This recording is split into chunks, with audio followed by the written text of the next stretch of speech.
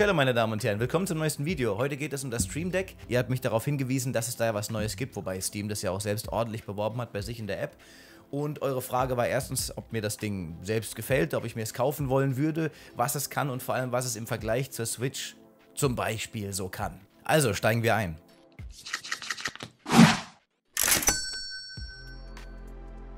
Die höchste Spielleistung, die sie je in den Händen gehalten haben. Damit ballert Steam natürlich schon ordentlich rein und schießt ja auch eigentlich gegen die Kontrahenten, gegen die anderen Konsolen und Handhelds, die bereits auf dem Markt sind. Sie präsentieren ihr Steam Deck ultra clean, es wirkt sehr schick und vor allem auch eben wie ein Handheld, bei dem alles an der richtigen Stelle sitzt. Das kennt man ja vielleicht noch von alten Geschichten, die dann doch etwas friemeliger waren, wobei man mittlerweile ja auch viel gelernt hat von den anderen. Ab 419 Euro wird das Ding hier angepriesen. Ein Stück weiter unten sieht man dann auch schon, wie dieses tragbare Spielerlebnis überall jederzeit aussehen kann. Also hier diese Frau, die Star Wars hier ganz chillig vor sich hin daddelt. Mehr Video-Footage sieht man hier aber leider nicht. Ein Stück weiter unten kommt dann ein kurzer Schwenk auf die Hardware für echte Spiele in echten Händen. Leistungsstark, komfortabel und vielseitig. Da gehen wir dann gleich noch auf die einzelnen Punkte ein. Dann nochmal, was das Ding überhaupt eigentlich ist. Und zwar ist es eure Steam-Bibliothek in einem Handheld. Also bereits an Deck. Kleiner Wortwitz, ne? Steam Deck und so weiter. Einfach anschalten und anmelden, Ihre Spiele und Freunde sind bereits da. So. Ähm, ja, hier nochmal das gleiche halt in bildlicher Form. Und dann kann man losdaddeln. Hier unten wiederholen sie sich. Steam ohne Kompromisse. Also, also ist halt, da ist Steam drauf. Ne? Man kann richtig schön reinballern.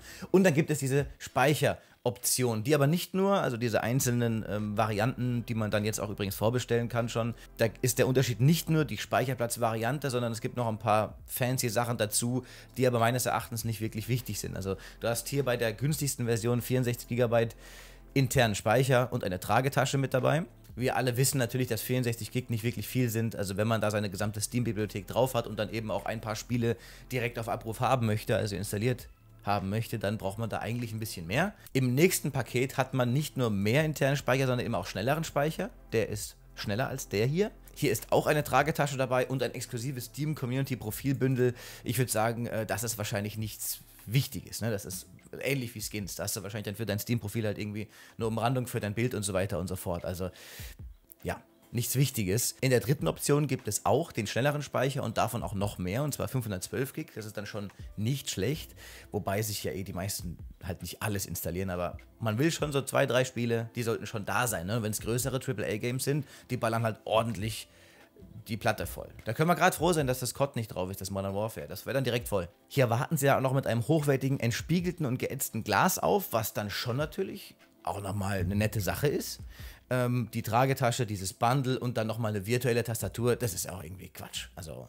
die anderen haben auch virtuelle Tastaturen, so wie ich es gesehen habe, nur gibt es hier halt ein exklusives Design dazu, also Skins. Wow. So viel zu den Bundle-Optionen, die man dann kaufen kann.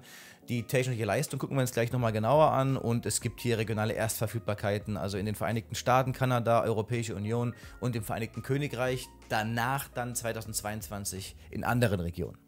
Gehen wir also über zur Hardware. Richtig technisch werden sie hier noch nicht im Sinne von, was ist da drin wirklich verbaut von der Leistung her. Dazu kommen wir dann gleich noch, wenn wir hier auf die technische Anforderung gehen. Dennoch führen sie hier ganz oben an, dass das Steam Deck der leistungsstärkste und umfangreichste Handheld Gaming PC der Welt ist. Und da würde ich auch schon sagen, ich würde den Vergleich zur Switch eigentlich gar nicht ziehen, weil die Switch ist kein Gaming PC. Sie ist halt eine Switch, sie ist eine Spielekonsole das Steam Deck will auf jeden Fall was anderes sein. Da würde ich eher Vergleiche zu folgendem ziehen. Und da kann man auch direkt nach den Preisen gucken, weil da sind die Preise nochmal anders. Und zwar einmal zum GPD Win 3 von Windows selbst hier für 1200 Euro. Das ist natürlich schon ein ordentlicher Batzen mehr als die beste Bundle-Version von dem Steam Deck. Und auch das One GX Pro würde ich da mit reinziehen und das schlägt auch mit 1200 Dollar schon ordentlich zu Buche. Nichtsdestotrotz habe ich einen kleinen Vergleich für euch rausgesucht. Die gesamten Quellen und Seiten, die ich hier benutze, verlinke ich natürlich wie immer in der Videobeschreibung zum selber nachlesen. Also, hier unten beschreiben sie ihre authentische Gamepad-Steuerung. Man hat Komfort, was die Analogsticks und sowas angeht. Hier sind die Sticks nochmal direkt beschrieben.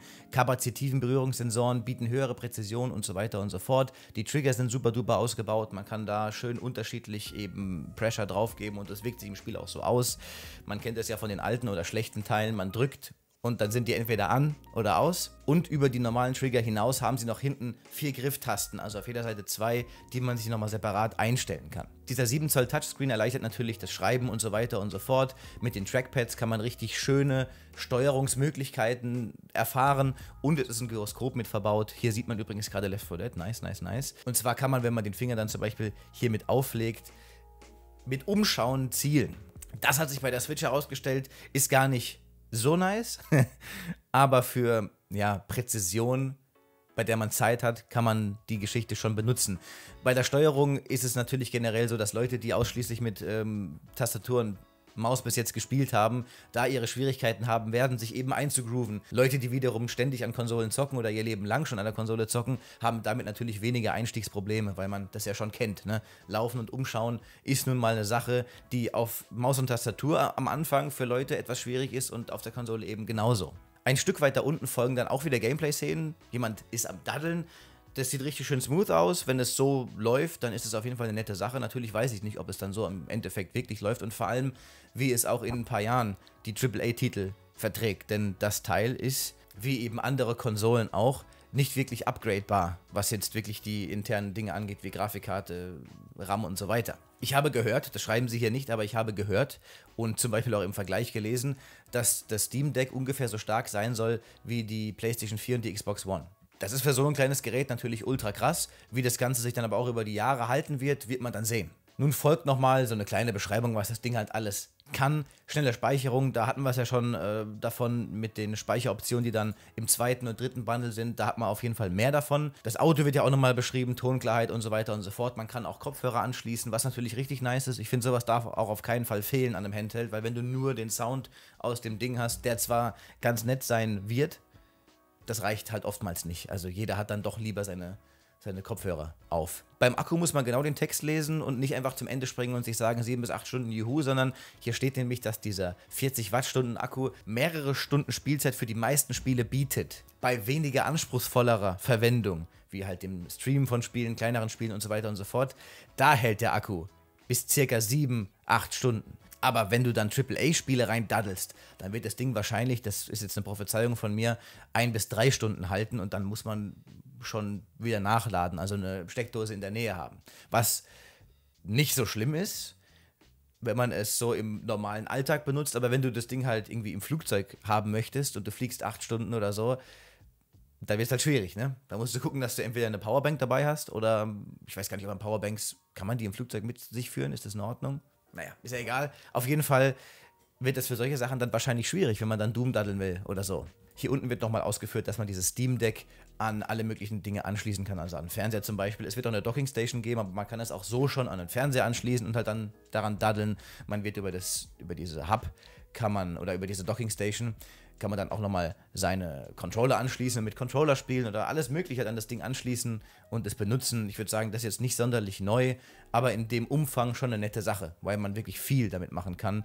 Die Drahtlautverbindungen sind irgendwie klar, das hätte man, glaube ich, gar nicht großartig dahinschreiben müssen. Also das Ding hat halt WLAN und Bluetooth sowie so gut wie alles andere auch heutzutage. Und man kann, das ist schon eher was Besonderes, weil ich glaube, das geht auch bei den Konsolen, erst bei den ganz neuen, ähm, die Spiele einfach pausieren. Also ihr daddelt, drückt auf Sleep, legt die Konsole weg oder dieses Handheld, diesen PC, legt ihr dann weg und wenn ihr dann nach ein paar Stunden wiederkommt und das Ding nicht schon leer ist, dann drückt ihr wieder auf Unsleep, ne? also auf den Powerknopf und dann könnt ihr direkt weitermachen an der Stelle, wo ihr eben pausiert habt. Was natürlich auch nice, aber schon irgendwie notwendig ist, also nichts Besonderes, würde ich jetzt sagen, ist, dass man Micro-SD-Karten Erweiterungen einstecken kann und alle Spiele, die darauf bereits installiert sind, erscheinen dann auch in der Bibliothek. Also man kann sein Gerät dann mit dickeren SD-Karten halt erweitern, beziehungsweise da dann schon Spiele drauf haben. Hier zeigen sie dann auch nochmal, dass dieses Gerät eben ein Gaming-PC zum Mitnehmen ist. Also man kann sein Steam Deck, übrigens entschuldigt, falls ich oft Stream Deck sage, das rutscht mir einfach so über die Lippen. Ich habe halt, also das ist irgendwie so im Kopf geblieben, Stream Deck zu sagen, aber es ist ja ein Steam Deck. Ähm, man kann sein Gerät dann einfach an den Bildschirm anschließen, Maus und Tastatur an das Gerät anschließen, also über, diesen, über diese Docking Station oder über die USB-Hub und dann kann man damit dann überall zocken. Man braucht halt dann nur einen Bildschirm, wenn man einen großen haben möchte. Ne? Also es ist schon eine coole Sache. Ne? Ja, und dann hier unten auch nochmal weitere Einsatzmöglichkeiten, dass man es an den Fernseher anschließen kann, dass man seine ganzen Controller, egal wie fancy sie sind, da auch anschließen kann und dann damit daddeln kann. Also wenn man zum Beispiel ein krasses Kampfspiel hat, kann man dann mit diesen wunderschönen hier gezeigten Controllern reinspielen. Ja, und hier unten dann nochmal kurz die Info, dass es auch eine Docking Station geben wird. Die kann man dann nachbestellen, extra nachkaufen. Nochmal eine Einsatzmöglichkeit mit Factorio, sehr lecker. Das stelle ich mir natürlich aus solchen Geräten dann sehr cool vor. Wenn du halt dann deinen Factorio direkt so dabei hast. Ich habe schon oft nach Sachen auf dem Handy gesucht, aber man findet dann doch immer nur Schotter. Dann kann man halt im Auto sitzen und zocken. Wenn mir dabei nicht schlecht werden würde, würde ich es machen. Alle Hände an Deck. Wieder der Wortwitz, sehr schön. So, äh, hier oben ist nochmal ein Reiter Software. Da habe ich jetzt gar nicht großartig geguckt. Also, sie haben halt dieses Steam OS da drauf. Man kann logischerweise alles machen, was man eben auch am PC machen kann. Das haben sie jetzt ja schon oft genug gesagt. Wo ist es? Steam OS? Da. Also, ein neues Steam-Betriebssystem. Auf Steam Deck laufen Ihre Spiele auf einem anderen Betriebssystem als auf Ihrem Desktop-PC. Es handelt sich hier um eine neue, speziell für das Steam Deck entwickelte und für ein mobiles Spielerlebnis optimierte Version von Steam OS. Die von Valve entwickelte Kompatibilitätsschicht Proton ermöglicht die Ausführung von Spielen ohne Leistungsverlust. Das ist schon nett. Mithilfe von Drittentwicklern wurde auch die Spielkompatibilität und Anti-Cheat-Lösungen von Proton für das Deck deutlich verbessert. Halten Sie sich fest! Es ist ein Linux-System, gut erkannt. Na ja, klar. Ja, und dann kommen wir jetzt mal zu den technischen Anforderungen. Also, hier ist das Gerät einfach nochmal so in seiner Gesamtheit abgebildet und gezeigt. Wir haben hier also standardgemäß, wie man das eben so kennt, Steuerkreuz, Analogsticks, Bildschirm die Tasten A, B, X und Y sowie die Menü- und Ansichtstaste. Darüber hinaus kommt das Teil hier aber auch noch mit zwei Trackpads, die es ja nicht jedes Gerät hat. Auf beiden Seiten sicherlich eine coole Sache. Dann hat man hier einen Knopf, um direkt auf Steam zu kommen. Hier sind die Lautsprecher links und rechts. Ein Schnellzugriffsknopf und Mikrofone hier oben. Das ist natürlich schon nett. Also man kann dann hier auch einfach reinlabern. Ich stelle mir das Ganze so vor, dass man zum Beispiel Counter-Strike, was ich da nicht drauf spielen würde, daddelt, drückt auf den Voice-Chat-Knopf und spricht dann einfach die Konsole an. F your mom. Was man eben in Counter-Strike so hört. Und dann wird das den anderen Leuten ausgegeben auf ihren Lautsprecher. Hinten dran hat man die üblichen L- und R-Tasten sowie die Power-Taste, Status-LED, USB-Port Typ C, den Ventilator und die Kopfhörerbuchse. Das kennt man, also dieses Layout kennt man eigentlich fast genauso von der Switch. Ich meine, dass da auch der Power-Knopf hier ist dann kommt, glaube ich, die Ventilatoren, Lautstärke kommt dann, oder? oder doch, ich glaube, das ist auch oben. Kopfhörerbuchse, da weiß ich nicht genau, wo die ist. Ich glaube, die ist unten. Und dann sieht man eben auch hier noch die Rückseite mit den weiteren R- und L-Tasten und diesem Micro-SD-Karten-Steckplatz. So, und darauf folgt dann die technische Leistung. Ich nehme an, viele von euch haben sich die ganze Geschichte schon angeguckt. Hier wird mit der Rechenleistung begonnen. Der Prozessor, die GPU, RAM und so weiter und so fort. Hier die einzelnen Speichervarianten auch nochmal eben genannt. Und sie schreiben ja auch, dass alle Modelle diesen Hochgeschwindigkeits-Micro-SD-Kartensteckplatz besitzen, um eben zu erweitern. Ich habe hier beim RAM einen kleinen Vergleich gezogen zu diesem GPD Win 3 Teil. Die haben zum Beispiel nur LPDDR4 RAM drin und das ist hier ein 5er RAM. Beide haben zwar 16 Gig, aber ja, hier ist halt schon Nummer 5 drin. Also ich nehme an, stärker für trotzdem deutlich weniger Geld. Also um nochmal auf diese Vergleiche zurückzukommen. Natürlich ist der Vergleich zur Switch, gerade was den Preis angeht, ähm, das, was den meisten Leuten direkt ins Auge fällt, von wegen, oh, die Switch kostet aber nur 350 Euro oder 300 Euro, keine Ahnung, was die gerade kostet, so plus minus. Und die, ähm, dieses Steam Deck kostet halt, wenn man sich was richtig Dickes holen will, 600 plus.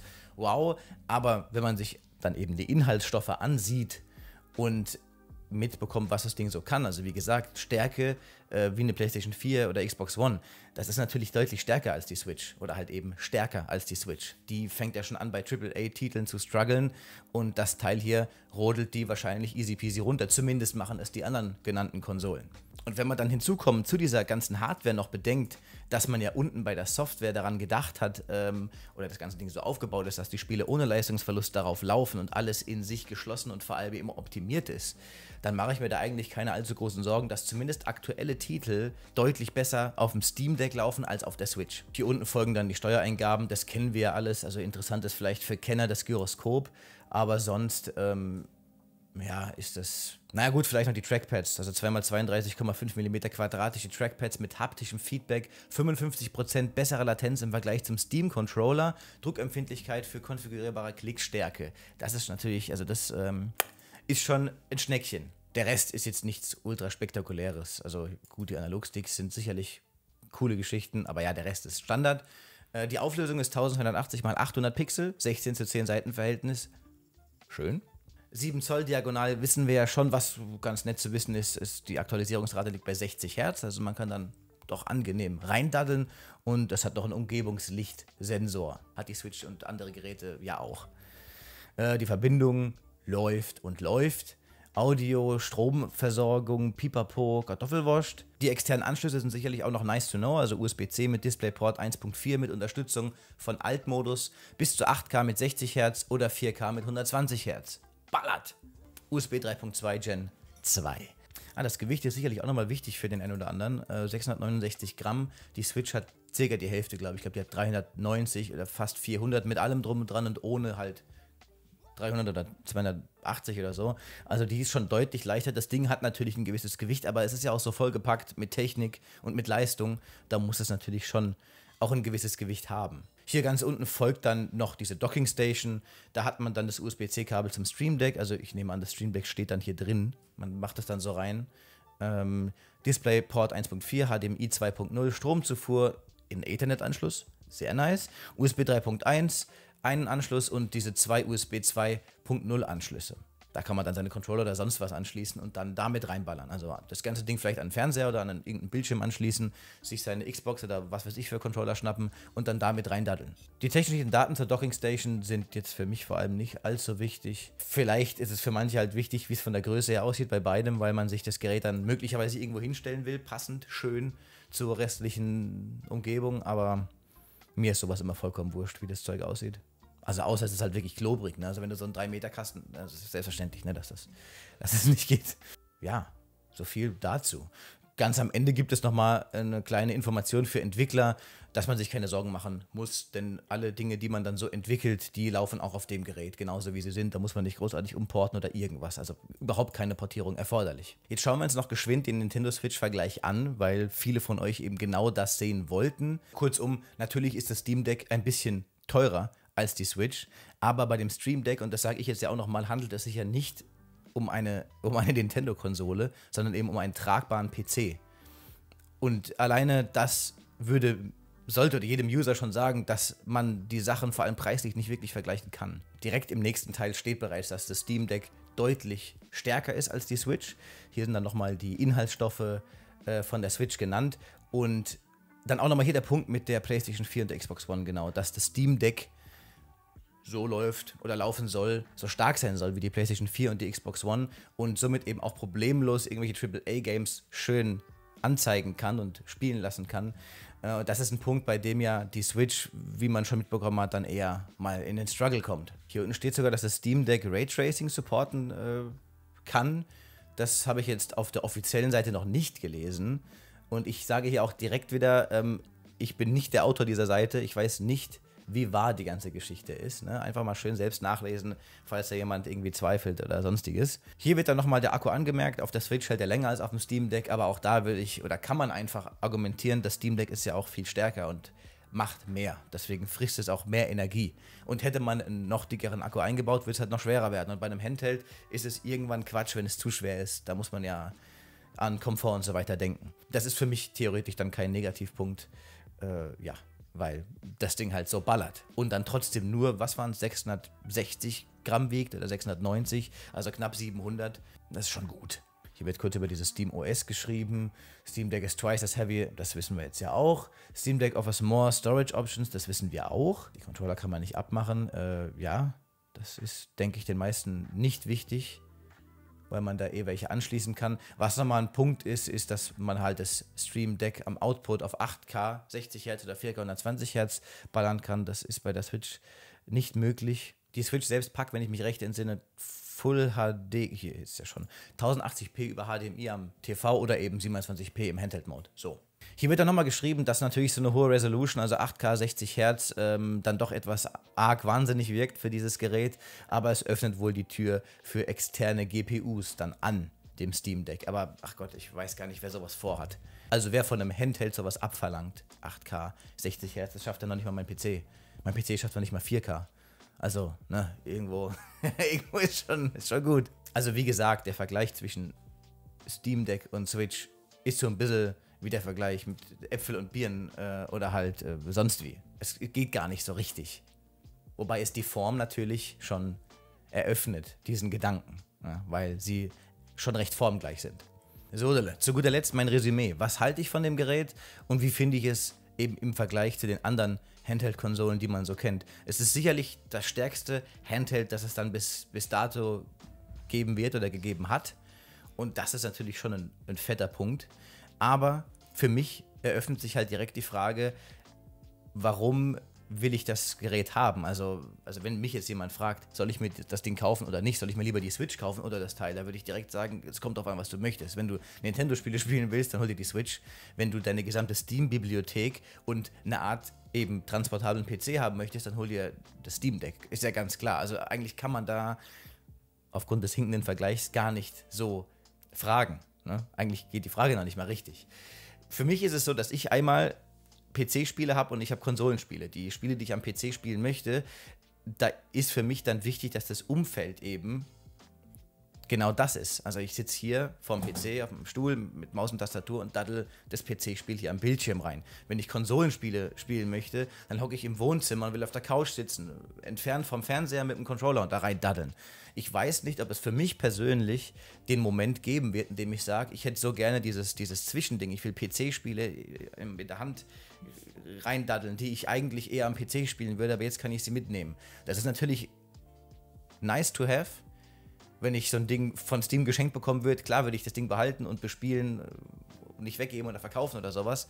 Aber ist es ein Must-have? Sicherlich nicht, weil ne, ich kann, wenn ich eh schon Konsolen habe und einen PC, habe ich ja schon. Also ich habe auch Handhelds und so weiter. Ich habe schon dieses, diese äh, Transition von entweder stationär da hocken und daddeln oder halt unterwegs irgendwie rumlaufen, das ist für mich schon vorhanden. Der Grund, dass ich mir, also ich für mich mir dieses Teil kaufen würde, ist nicht vorhanden. Zumindest noch nicht. Vielleicht ist er irgendwann mal vorhanden, aber wenn eine neue Xbox rauskommt, dann ist für mich der Grund der, also der Kaufgrund, weil ich ja die alten alle hatte und jetzt gucken will, was die neue so kann und vor allem die neuen Spiele auch weiterhin so spielen können möchte, wie ich die ganze Zeit gemacht habe. Also auf meiner Couch sitzend, Controller in der Hand, schön daddeln, auf dem fetten Fernseher und das ganze Zeug läuft auch äh, weitestgehend gut und kackt nicht ab. Darum kaufe ich mir neue Konsolen. Das Gerät, da fehlt für mich persönlich dieser Kaufpunkt. Wie da die Verkaufszahlen aussehen werden, da bin ich natürlich gespannt. Ich denke, bei ganz vielen, gerade wenn man noch keine Konsole hat und vor allem keine Handhelds hat, da ist es dann wiederum was ganz anderes. Also ich denke, bei solchen Leuten ist der Kaufgrund dann schon da weil man dann eben was hat, dass man auch mal schön gemütlich am Fernseher zocken kann. Man kann einfach seine Spiele, ohne großartig jetzt umbauen zu müssen und was weiß ich alles, was man machen kann. Mittlerweile gibt es sicherlich auch noch leichtere Möglichkeiten, seine PC-Spiele am Fernseher zu spielen. Aber ja, wenn dein Fernseher halt einfach mal ein paar Etagen weiter weg ist oder Räume weiter weg ist und du es ganz einfach haben willst, dann nimmst du deine Steam Deck-Konsole, äh, deinen PC, trägst ihn rüber, steckst ihn ein und fertig ist. Und dann kannst du daddeln bei solchen Leuten ist also ein Kaufgrund auf jeden Fall da und ich denke, natürlich wird das Ding ordentlich verkauft und läuft sicherlich auch gut von den Zahlen her. Aber ich denke, es gibt auch Leute, die da gar nicht so großartig reinkaufen werden. Mich nervt übrigens gerade dieses, dieses ekelhafte Wackelbild. Ich gehe mal, kann ich woanders hin, bitte? Standbild. Angenehm. Meine Augen die ganze Zeit. Natürlich folgt am Ende die Frage an euch: Wie gefällt euch das Teil? Werdet ihr euch das Ding auf jeden Fall kaufen oder sagt ihr, ich weiß es nicht, weil aus denselben Gründen, die du genannt hast, oder ähm, aus anderen Gründen, die ihr eben so im Kopf habt. Wie sieht's aus? Und noch eine kleine Extrafrage. Wenn euch das Ding jemand einfach schenken würde, würdet ihr es behalten und zocken? Oder würdet ihr es nach einem Antesten dann irgendwann verkaufen, weil ihr sagt, brauche ich eigentlich nicht? Wir lesen uns in den Kommentaren. Vielen Dank nochmal für die Info zu dem Gerät. Gut, Steam, also auf Steam habe ich es natürlich selbst auch gesehen, weil es ja einem direkt ins Gesicht geballert wird. Aber dennoch, danke für die Infos von euch. Und äh, ja, wir sehen uns dann im nächsten Livestream. Dienstag 18 Uhr, Donnerstag 18 Uhr, Freitag 22 Uhr. Mit Instagram kleben die Sachen ziemlich einfach. Von Papa wünsche ich mir 100 Rollen. Dann zur Weihnachtszeit, dass ich mal langsam ein Kartoffelflip esse. Denn dann gibt mir deine dicken fette Mutter auf die Instagram.